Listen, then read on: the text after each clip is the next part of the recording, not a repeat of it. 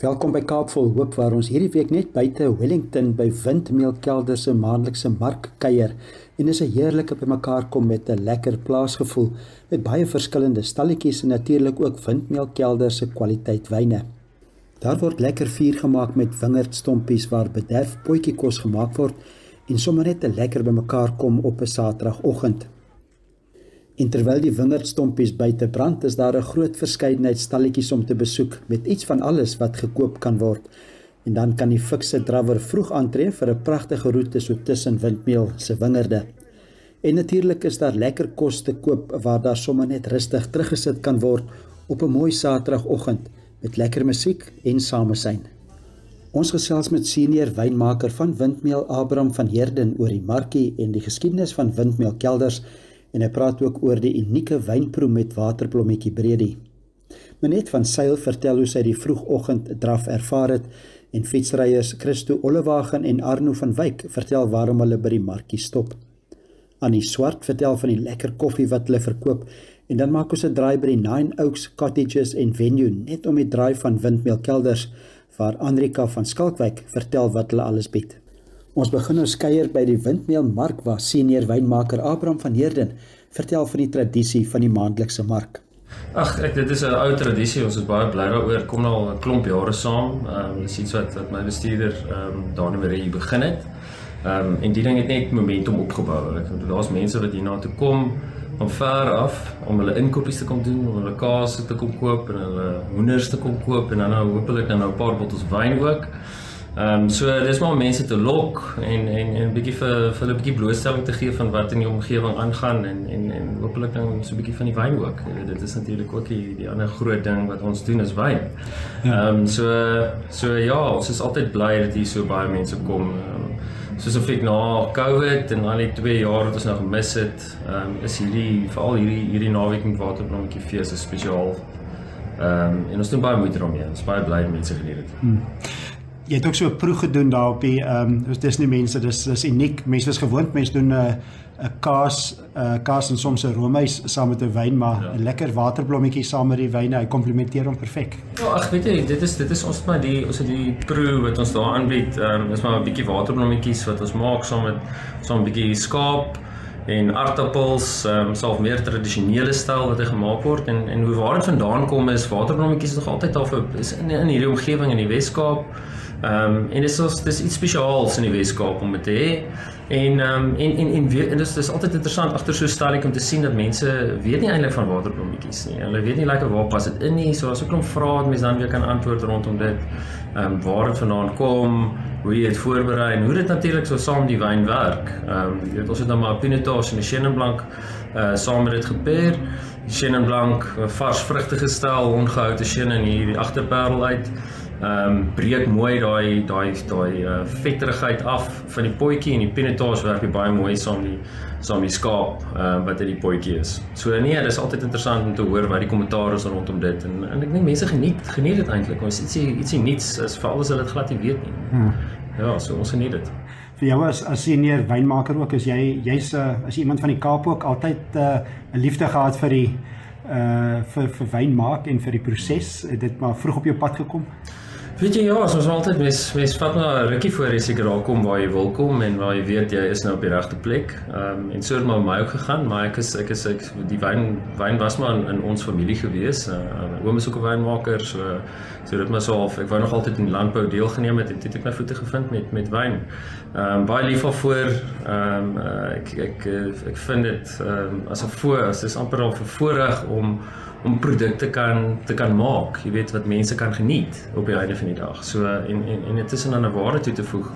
En ehm um, en dis 'n dis 'n wonderlike fantastiese produk wat wat jy lank stories kan oor praat en ehm um, en uh, ja, ek is is is altyd opgewonde oor 'n nuwe oes, nuwe idees, nuwe planne en ehm um, ja, ek sien ek sien uit weer na die volgende jaar.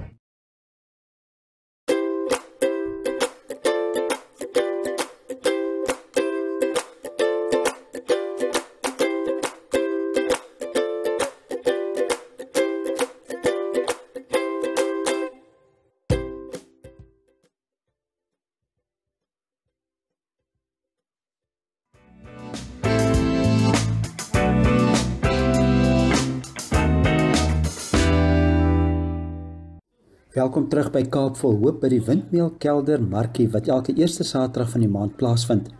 Behalwe vir lekker kos en natuurlik baie lekker wyne en stalletjies, kon besoekers ook eers vroegoggend die drafskoene aantrek en deur die wingerde draf.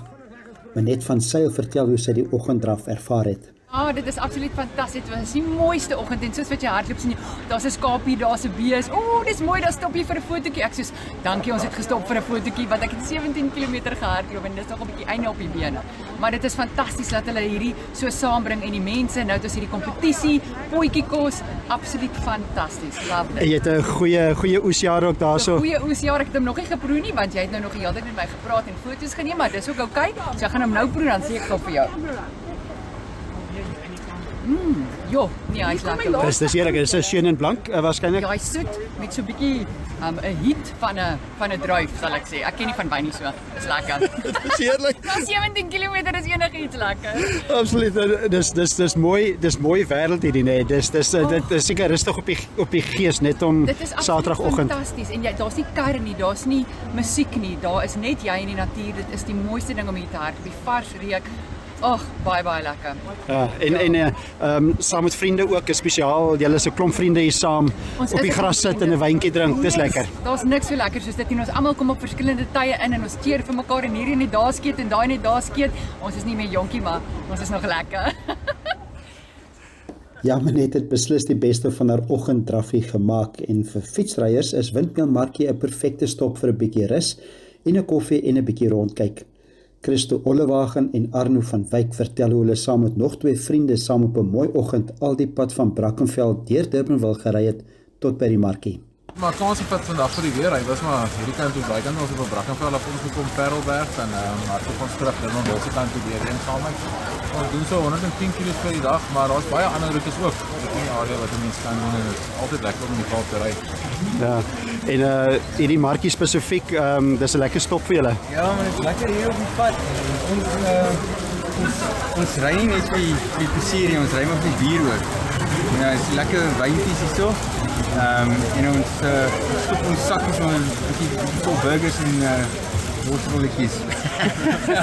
ja, kyk, is uh dis maar alles deel van die lekker vir die lekker paai hier so. Ons het baie tindel tracks hier so rond en dan uh, lekker plekke om te stop oral. Ja. En dis 'n pragtige ehm um, pragtig mooi rondom jou as jy ry van Brackenfell af hiernatoe. Ja, want val so hier op die daar. Ehm um, jy uh, in die week is die traffic nou nog erg, maar op die staat daar is it amazing. Dit is ry ry om en dit is lekker hier die Parelberg ehm um, alleen daar's dis dis niks daar plan nie. Baie mense wat jy vind ehm um, ja, dit is 'n amazing lewe moet sê. Ja. ja, ons is ons is definitief geëerd om te kan doen wat ons kan doen en ja, dan ja. kom so by so 'n padstal wat of die windmeel wat net dis daar vir almal om te geniet en so en so. Dit is regtig baie amazing as ons geëerd om in in sulke situasies te kan wees. Ja inderdaad 'n voorreg om in hierdie mooi wêreld te kan fietsry en eh, behalwe die lekker kos en wyne en stalletjies is daar ook bederf koffie by die markie en op 'n effens bewolkte oggend is daar redelik tou gestaan vir ietsie warm. Ek het vir Annie Swart gevra of die mense daar 'n bietjie skinder as hulle koffietjie by haar kom koop. Ja, ek skinder lekker saam met hulle. Um ek geniet die mense, ek is verskriklik lief vir die mense. Um ek is 'n mensemens en ek en ek hou van drukkies gee en ek sien al dit is altyd net so lekker as die jong kinders ook hier saam met ons gewerk het, die studente, hoe hulle terugkom en altyd vir ons kom hallo sê kom drukkies gee en hulle geniet dit ook altyd hier by ons. Ja. En uh wat maak wat maak Wellington so spesiaal? Dit is uh uh dis 'n lekker lekker lekker omgewing om in te bly. Ja, dis baie baie van die mense is vriendelik hier agter. Ek hou van met mense te werk. Uh en uh jy hou sekerlik ook van koffie. Yes. en wyn. so wat is so wat maak vir wat maak Parel en Wellington so as omgewing so spesiaal? Ek dink dit ek dink dit gee meer 'n plattelandse atmosfeer. As jy sien hoe baie en hoor hoe baie mense van uh Centurion, Lepelale en al die plekke nou hier daar toe trek. Um en hulle hulle pas onmiddellik pas hulle aan. So dit is 'n baie um maklike omgewing om aan te pas. Ja, en soos Annie sê, die Parel in Wellington is 'n unieke wêreld en net na die advertensiebreek gesels ons verder met Windmeelkelder wynmaker Abraham van Heerden. You know, a few weeks ago, I would never do this on a Saturday morning. Back then, I was standing in line all day. Now it's just like that. Mm, you are using the FNB banking app like I told you. Girl, it saved my weekend. Now I can do all my banking on this. Payments, transfers, checking statements. Even opening accounts. Just, Just like that. oh, did I tell you what my husband Even did? me. Even me, I want to save time with the what's the name of the app? FNB app. Don't be left behind. Make the switch to the FNB app, online banking, or cell phone banking, and change the way you bank to change your life. FNB, how can we help you? Ons is terug by Kaapvol Hoop en ons kuier by die maandelikse plaasmark van Windmeel Kelder. Die Windmeel Kelder is deel van die Parel Wynlande en dateer terug na 1944. Die windmeel waarna die kelder vernoem is, dateer uit die 1800s. Wynmaker Abraham van Heerden is al baie jare by Windmeel en hy vertel waarop Windmeel Kelder fokus. Spits ons definitief toe op Shannon en Pinotage. Dit is uh dit is uh vir hierdie area uh is dit is dit werk Shannon eenvoudig net baie goed vir 'n vars vrugtige styl en vir die gehoute styl ook waar jy bietjie meer voller uh, wyne kan maak hierso. En wyne wat wat 'n lang rak leeftyd het, lang potensiaal het om om lank in die bottel te bly. Dit is verseker so. Die konsentrasie is eenvoudig net ongelooflik wat jy kry hier van vrug. Ehm um, so ja, en nou kom 'n lang paadjie saam, jy's heeltemal reg. Ehm um, en oor tyd het dit het dit heeltemal verander. Ehm um, klein begin en en en ons is direk nou by 15000 ton. Ons het plan miskien om groter te raak, maar om die kwaliteit beter te maak. Dit is dit sal ons dit sal ons punt wees uh, hier by Windmeel. Hmm. Uh elke jaar is maar 'n nuwe jaar nê nee, en en 'n uh, mens kan ehm um, daar's klomp dinge wat daarop inspel. Ehm um, maar vir julle ook dit bly seker dit grens aan 'n kuns kunswerk op die ou end om op die ou end te te ehm um, te kry waar jy moet wees daar in die bottel. Ja. Ek dink ek dink mense met jou met jouself ook bietjie vestig ehm um, en die blokke leer ken en die mense leer ken um, en wat presies die kultuur ken agter dit. Ehm um, as as mens as mense 'n bietjie tyd spandeer saam die blokke en jy weet waantoe waantoe gaan hy na jaar 1, het jy al volgende jaar al weer 'n bietjie beter prentjie van waantoe jy waantoe jou pad is. So dit kom maar met tyd ook. Ehm um, en ervaring ehm um, dink ek speel ook 'n groot rol. So ons weet al wat se blokke werk vir ons wat se areas werk vir ons, wat se style kry ons hierso en en en wat kan ons wat kan ons maak of van. Hmm. Ja, elke oesel het sy uitdagings. Ehm um, het sy met die weer speel 'n groot groot rol vir ons. Ehm um, omdat dit meestal droëland uh, wingerde is, is dit is dit 'n massiewe invloed op die wyn en die oes in geheel en die kwaliteit wat daarmee saamgaan. So ja, elke oesel het sy uitdagings, maar ons dis deel van wynmaak. Dit maak dit dit maak dit amper uniek want elke jaar is dit nie noodwendig dieselfde nie, nie noodwendig dieselfde planne wat gaan werk nie. Hmm. Een van die produkte wat wat wat regtig top kwaliteit is is byvoorbeeld Avila Reserve mm. en en mense besef nie hoe oud die blokke ook is nie. Ehm um, verstaan dit reg is is my 47 jaar. Ja. ja. Ons het ons het op ons 'n hele reeks van ons windmeel reeks, is 'n klassieke reeks wat ons meer half uh, kom ons sê ongehoute styl maak van Shannon en van Sauvignon Blanc, die rosé ook. Ehm um, en dan met die rooi is dit bietjie meer 'n ligter styl. Ons het goeie konsentrasie, maar 'n bietjie minder hout wat ons gebruik daarso. Ehm um, en 'n bietjie ehm uh, kom ons sê bietjie meer approachable wines uh, in 'n sekere in 'n sekere sin. Met die reserve is dit dan is, is dit dan 'n stappie op. Ehm um, dit is bietjie meer gekonsentreerde wyne. gesien bietjie meer nuwe vate en dan gaan 'n bietjie meer uh, dit is blok georiënteerde uh, uh, wingerde daai. So dit kom van die blok af terug in die bottel in. Ehm um, en dan is natuurlik nog eene, nog 'n reeks bo op dit, ehm um, wat die Legend Collection is. En dit is waar ons uit uit net fokus op wat die beste van die beste is. Ehm um, baie klein lotte ehm um, en kyk net hoe hoog kan ons skiet met die wyn se kwaliteit in. Waar waar die Chenin Blanc natuurlik 'n groot 'n groot mikpunt is vir ons en ons elke jaar 'n klomp planne en boustene wat mense het om daar te kom waar jy wil kom. En van daai blokke is is oud, meer as 40 jaar oud en kom kom 'n lang tyd en hoe lank kan mens so 'n blok eintlik uh, laat gaan? Weet jy ja, as dit op die regte plek staan, ehm um, dan dan kan so 'n blok 'n uh, 'n lang paadjie loop. Ehm um, en en en daar's 'n daar's 'n geweldige toename in in in in in ouer blokke wat wat wat nou in die laaste paar jare wat mense sien wat se waarde dit werklik toevoeg. Um, ek dink die uitdaging bly maar net daarvan om by ou en waarde toe te voeg vir dit want die, want jou oes raak maar al hoe kleiner. Ehm um, so so jou jou produk gaan al duurder raak. Ehm um, maar laat dit 'n besonderse wyn maak. Laat dit iets spesiaals maak, iets wat wat wat wat ehm um, anders is as die res, wat uitstaan teenoor teenoor ander wyne. Dis verseker so. En ek dink dit is kom ons so dryf is agter dit. Bewaar eerder daai goed. Kyk mooi daarna en kyk of jy kan waarde toevoeg toevoeg en die produkte ehm um, nog steeds in die bottel kry en dit mense self opgewonde raak oor dit. Ek dink dit is dit is dit is die uitdaging, maar spesiaal is 40 jaar oud. Dit is nie iets wat jy sommer sien in die klimaat van ons nie. Uh 40 jaar plus, ons van die ou van die blokke wat ouer is dit is. Ehm um, uh so nee, dit is en daar's 'n groot navraag daarvoor. Hmm. Baie bly. So ter afsluiting die ehm um, die program se naam is Kaap vol hoop. Ehm um, vir jou ook ervaar by Windmeel persoonlik ook sommer net in die Kaap se mooi plek. Ehm um, ervaar jy ook hoop en vir vir die pad uh, vorentoe uh Ja, nee, ek is ek is ek is een van daai mense wat wat amper half jy met jou met jou kop oplig en 'n bietjie opkyk. Ehm um, uh, en nie na jou voete nie. Ehm um, en bietjie bietjie kyk hoe die wêreld oplyk boontoe. En dis blou lig wat jy sien, die son skyn en en deur mense in die gesigte kyk en en te groet ehm um, en 'n smaak op die gesig te sit. Ja, definitief uh hoopvol en en dit uit te straal maak jy sommer ander mense ook hoopvol. Um in hierdie tye wat wat almal maar so 'n bietjie uitgedaag is voor en en en um wat almal ook nou wil aanbeweeg, dink ek is dit goed om jou kop 'n bietjie op te lig en en die hoop definitief by jou te hou. Mens moet positief bly. Got me feeling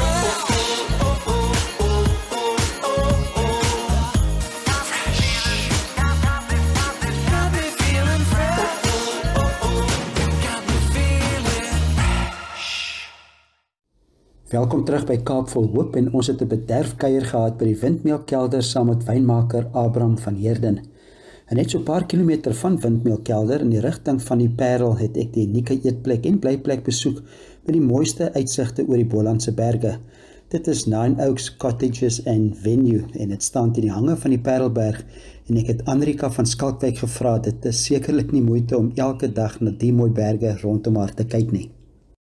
Glad nie, glad nie baie moeite nie. Nee, ek voel eintlik mense raak so gewoond daaraan. So dis vir my dis my oulik as mense my herinner ehm um, hoe mooi dit is en hoe ehm um, bevoorreg ons is om eintlik hierdie uitsig te hê elke dag. Soos ons gesels, hoor ek die vier uh kletter hier so agter ons vir die vir die pizza oond. Ehm um, miskien ook sommer net mense wat hiernatoe kom. Ehm um, uh weet wat kan alles kry? Is die mooiste stoep en met 'n kroegie. Ehm um, wat wat kan mense hier kom kom geniet eintlik? Okay, so deur die dag is ons 'n koffiewinkel en dan in die aande is die pizzeria en die bar oop.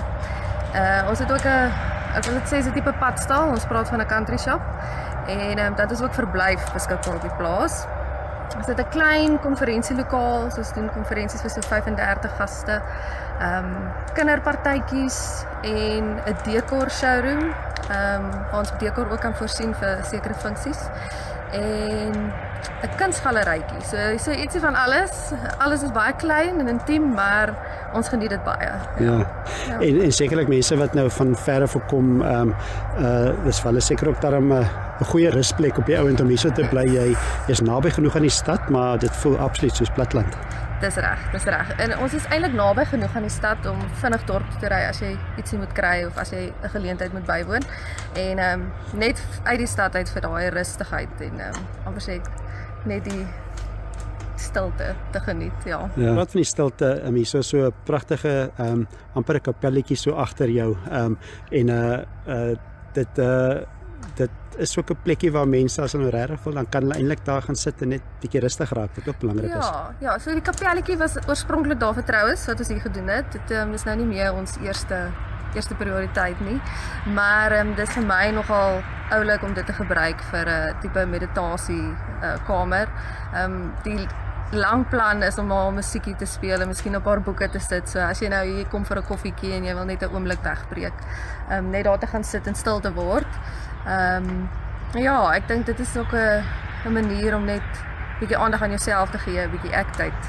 Ehm um, Ja, maar dit is nog nie 100% in werking nie. Ons is nog besig met dit.